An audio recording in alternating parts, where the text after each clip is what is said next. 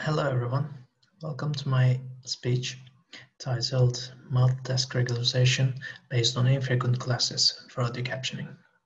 My name is Emre Çakır and this work has been done with my co-authors Konstantinos Drossos and Tuomas Virtanen for Tampere University. This work is a part of DCASE 2020 workshop and also DCASE 2020 challenge task, task 6 on, on audio captioning. Let me start by quickly defining what do we mean by audio captioning. So audio captioning is basically automate, automatically generating textual descriptions uh, of the contents of general audio recordings. So whatever we can define by listening to an audio uh, in terms of sound events, sound happenings, um, these and making it into a concrete, um, grammatically correct sentence.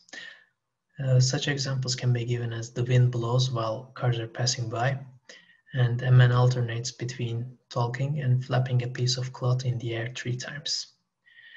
So as you can see, the audio captions uh, compared to image captions, for instance, so we're all familiar with the image captions, but the audio captioning um, is qu quite subjective.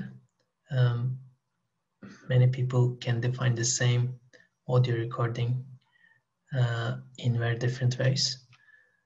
Um, and there are also other elements such as there's the temporal element coming into play, as you can see in the second example, uh, in the air three times. So an automatic audio captioning system should be able to uh, understand also this sort of uh, information from the audio directly. So if you go to our proposed method, it's a multitask, we call it multitask regularized autoencoder. So on the upper left corner, you'll see uh, an audio waveform and its targets uh, caption, a bell rings three times as birds chip in the background.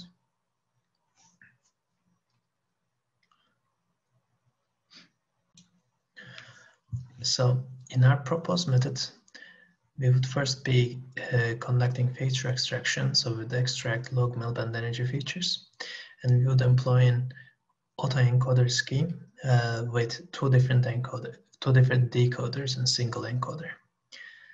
So um, in our caption decoder, we would have basically a target output matrix for each recording that we have. And the, the columns of these uh, target output would be uh, one hot encoded and we will obtain it by basically marking uh, at each time step uh, which word um, that we want to that that is uh, inside in, in the uh, given time step. So as you can see here a bell rings three times we'll be basically encoding it in the horizontal axis it will be the time steps and the vertical axis it will be the which word uh, we will be trying to detect. And in the content word decoder, which we will talk a bit more in detail in the next slide, but so the content word decoder output will be not a matrix this time, but it will be a vector and it will be a multi-label vector. Uh, so it can have multiple uh, multiple uh, ones in this binary binary vector. We can have multiple ones, and uh, we will be basically marking each um, content word that's present, uh, regardless of its time step. Um, we'll be marking all of them um, in a single vector. So here we see bell rings three times, burst, chip, chirp, background uh, as the target output. So uh, coming to content words and function words. Um, in linguistics, content words is defined as the words that convey information in a text or speech act. So these words are nouns, verbs, adjectives, etc. So the words that have that that bring in the information. Um, whereas in, whereas the function words would be words that have little lexical meaning or have ambiguous meaning. Uh, such examples are articles, prepositions, etc. And so basically they're tying up the, the content words into a sentence in a grammatical sense. And um, obviously they will be much more commonly found uh, in a sentence uh, compared to many of the content words because they're they're uh, they're supposed to be there regardless of what kind of information uh, the uh, the sentence is conveying. And if you, if you think in terms of machine learning, um, this will introduce some sort of bias to our system because they will be these function words will be uh, very much overrepresented in our data set. So um, back to our proposed method. So we are basically trying to solve two different tasks. Uh, the first task will be this multi-class word level audio captioning. So will be uh, there will be the time axis involved in, in this task and for each time step we will be trying to find the word that's present. And one additional um, method that we employ here is to uh, introduce weights for each of the words uh, based on their uh, frequency and inversely proportional to their frequency. So we're trying to basically boost the weight of the words that are less commonly found in our data set, um, which are most likely content words, and try to de-emphasize the function words affecting our uh, or weight in our training loss. And the second task would be uh, related to the second branch, second decoder branch, content word detection branch. And this will be a multi-label task. It will be done on the clip level. So we wouldn't have the time axis in this case. And this will, the, we consider this as sort of uh, as a regular, regularizer for audio captioning encoder. And since both of these um, both of both caption decoder and content word decoder are fed through the same encoder and uh, which is obviously using the same features.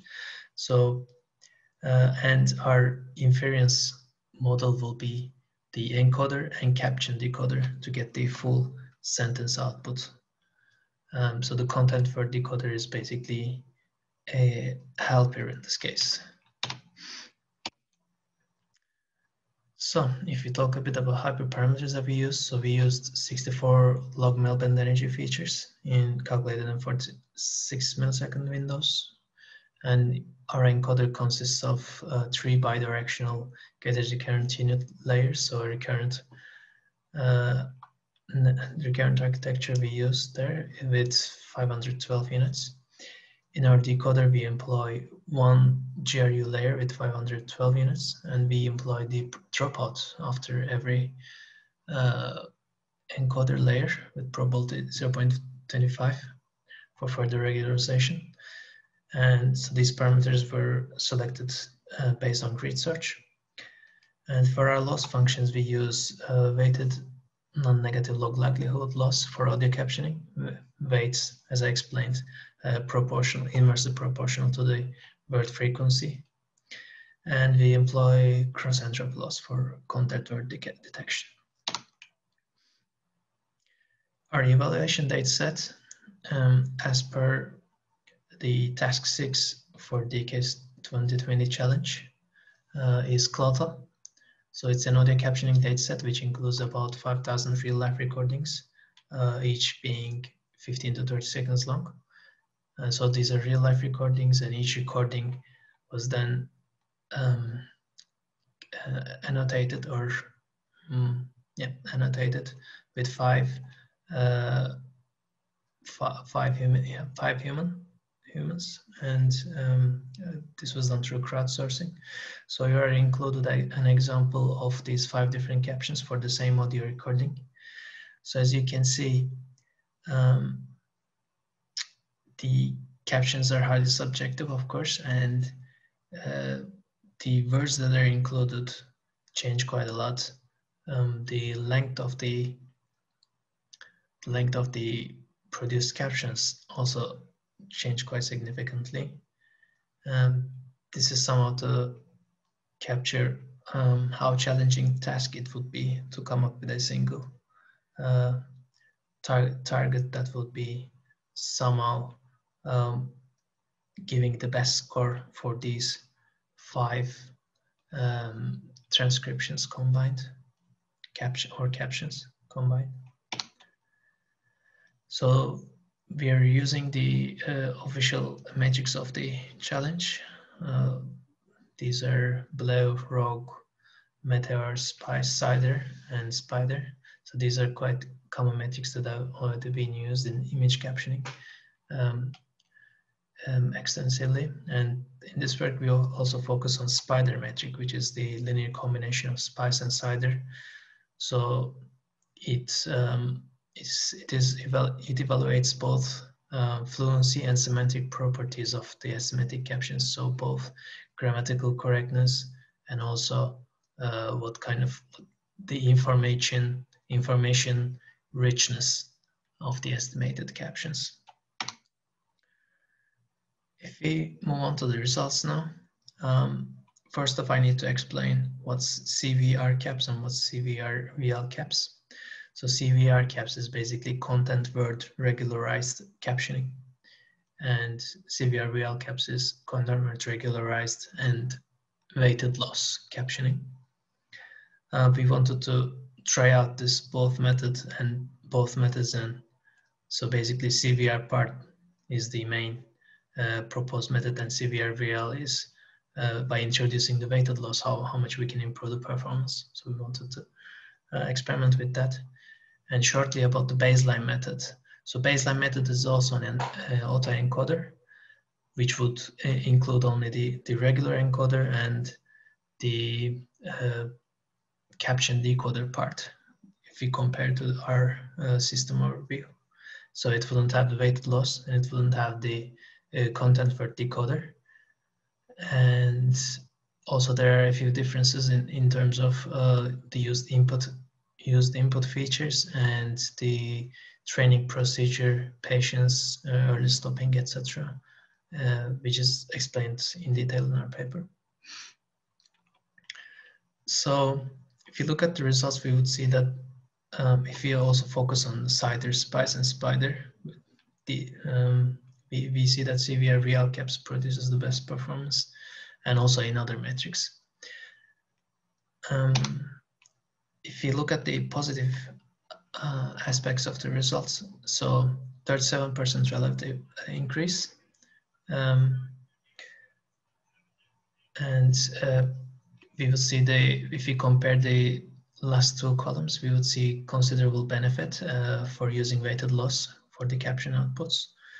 And this is uh, highlighted more maybe on the cider side, uh, which is most likely due to the TF-IDF weighting uh, done for done for cider evaluation. So uh, similar to the weighted loss, it will be uh, giving more weights to the um, words that are more uh, information rich and also less less found in the in the whole dataset, less represented in the dataset.